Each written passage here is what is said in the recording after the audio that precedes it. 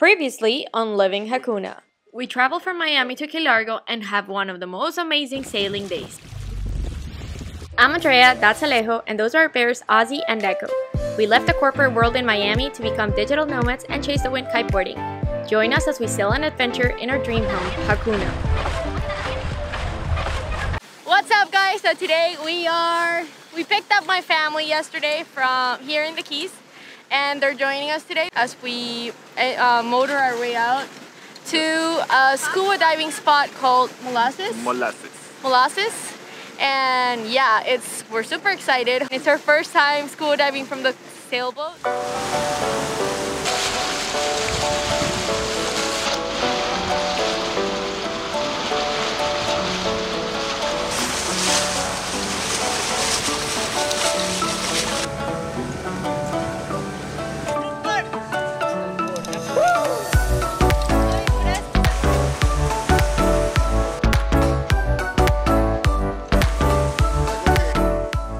Growing up, we lived far from the ocean, but I always loved the water. My parents had a scuba diving shop, and my dad would always take me with him on his trips with his students. It had been years since we had been in the water, and there was no better way to go back than together as a family.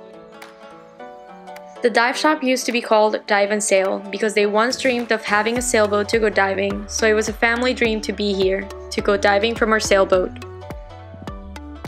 My dad prepared the equipment once again, just like he would back then, and we all got ready to jump for an amazing dive. The entire day was windless, so the visibility was just beyond amazing.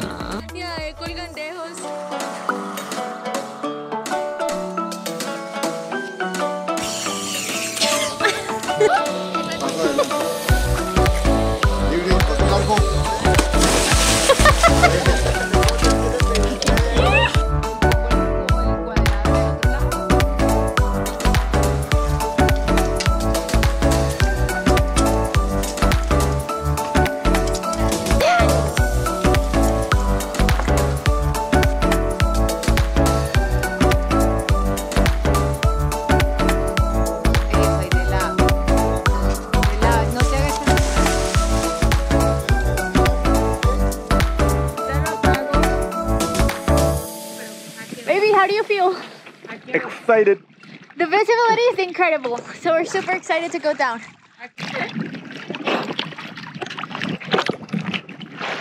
¡Qué rico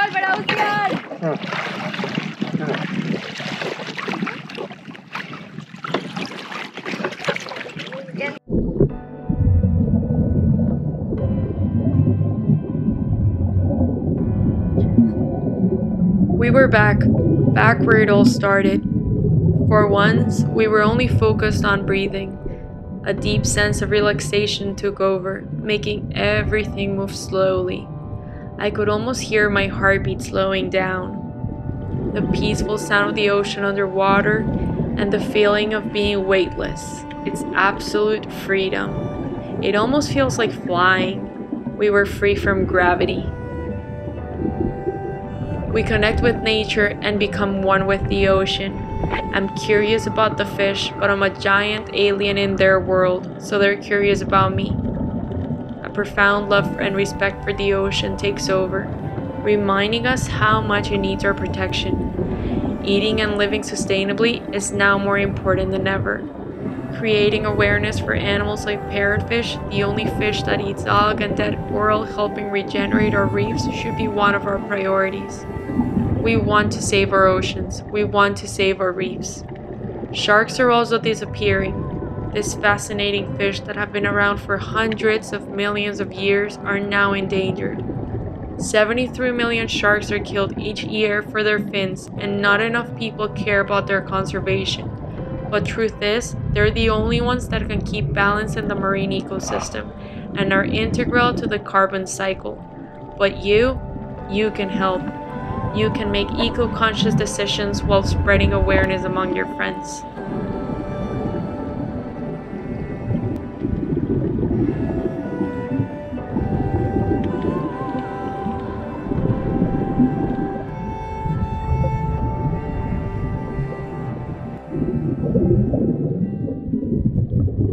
It was awesome. We saw sharks. We saw. ¿Cómo se dice barracuda en inglés? Barracuda. Barracuda. Whatever that's called in English. it was great. Awesome school diving tank. Yeah. I'm seeing awesome diving.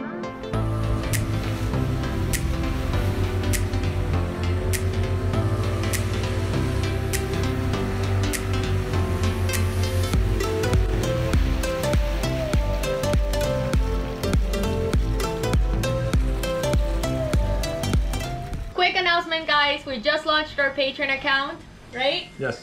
If we make it to 20 patrons by the Miami Boat Show, we will be doing our first meetup here in Miami. Be able to join us here for Sundowner or join us for a day sail. There's multiple things you can gain from being one of our patrons, so check the description below and join us in our Patreon account. Get ready, people. Very excited. Let's keep going with the video. Peace. We arrived yesterday from Key West, and today we're actually moving to No Name Harbor by Miami. We're um, Alejo is leaving to Chicago for two days, and I'm gonna be staying with my sister. So we just wanted to make sure that the boat was protected because it's gonna be really windy this weekend.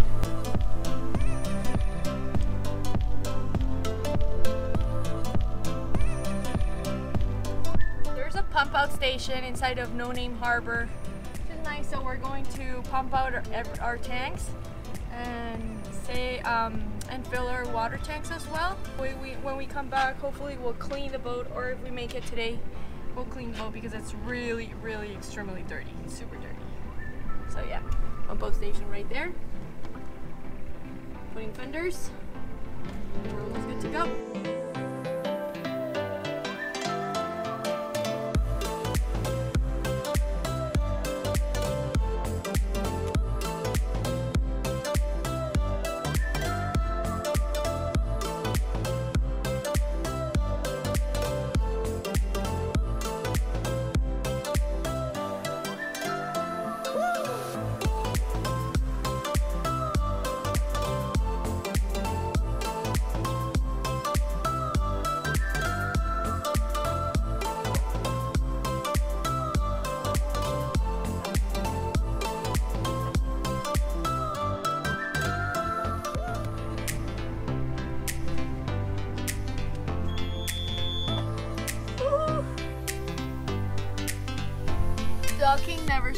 Stressful.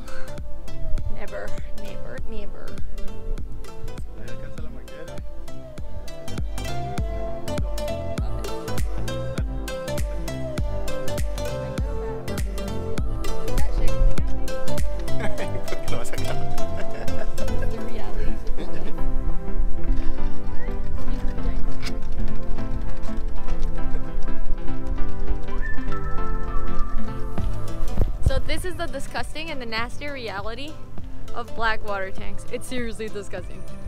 Look at that.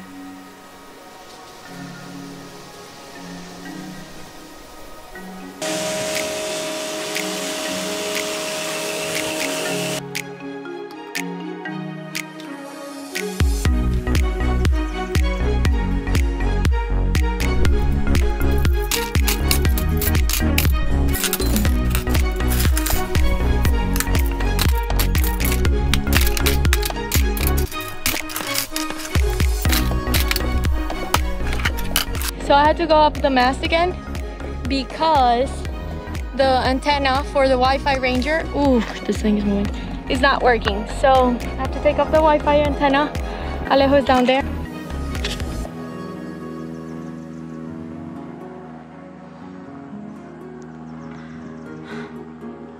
This is the antenna that I need to take off. Let's get to it.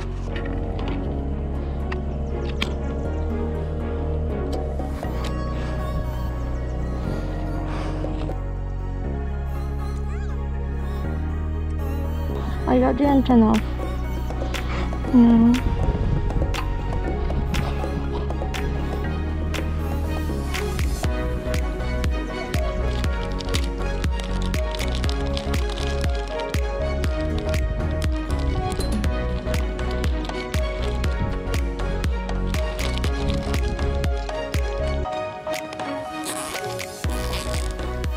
We're done. I'm super tense right now.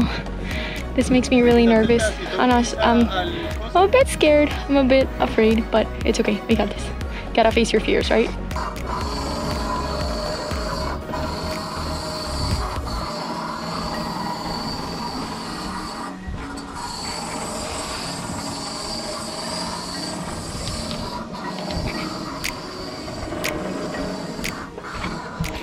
I'm fine. I'm safe. I'm alive. Mission accomplished. We did it because you didn't let me drop. You didn't drop me and let me die down there. yeah, it was like me going up or Alejo going up, but I trust Alejo more with the lines, and I don't trust myself so much with the lines. So that's why I rather be up there. It's really scary for whoever's up there. I really swear it makes me really nervous. It's really high. The mast is, baby, how tall is the mast? It's seven or two feet tall. So, and I went up like halfway. We were missing what, like 20 feet? Probably. We were missing like 20 feet. That means we went up 52 feet. So it's it's really I can't imagine if we ever have to do the full 72 feet. I would, oh my god, that would be so scary. it makes me, uh, makes me twitch my stomach. So yeah, so um, I'd rather go up there, be the one scared, and have Alejo. I trust Alejo with the lines. I trust him with my life. And he didn't feel that comfortable trusting me with his life. What's up? What's up? Thank you guys for watching. We hope you guys enjoyed the video. We also like to ask you guys if you to support us to grow our channel by liking the video and also make make sure to subscribe. Yep. See you next video. Peace.